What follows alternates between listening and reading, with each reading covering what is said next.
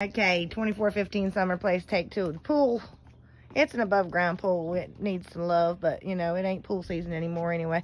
Nice back deck back here. It does got a little fenced in yard for the dogs, entryway, roadside uh, frontage both ways too. So that's pretty important to, to mention. Let's get back through here. Um, I get this back door locked. All right, there's that. Then we're gonna go upstairs. So I like the layout of the house. Um, you can definitely tell that whoever built it paid attention to detail. It's got beautiful wrought iron handrails, um, nice plush carpet on the stairs. The carpet looks like it's in good shape. Uh, and then I, this would be the master suite, double closets, his and hers. And then it does have its own, it's a nice bathroom over here, double vanities. And then the potty room with the walk-in tile shower. So pretty nice.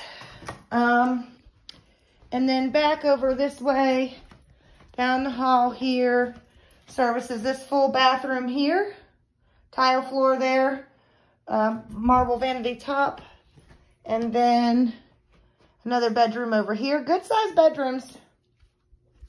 And then the um, third bedroom on the top floor over here. So I like it for you guys. Dana Robert, it checks a lot of boxes and check. In fact, it checks every single box. Um, as far as what you're looking for in the house, you just gotta consider the location. I know Sunset Beach was more your favorite than than um, Holden, so this one's closer to Holden, but it's a really beautiful house, and I think that you guys will be happy here. So I'm gonna upload this to YouTube and send it on over, and I'll give you guys a call. Thanks, bye bye.